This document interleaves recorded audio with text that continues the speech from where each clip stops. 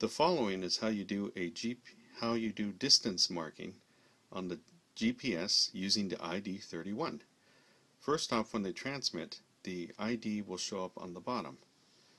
And then what you do, when you see the ID, you push RXCS. I'm going to have a station key up real fast. Can you key up again really quickly?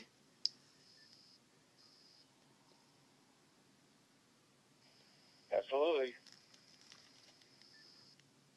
So on the so you see the call sign appear on the bottom.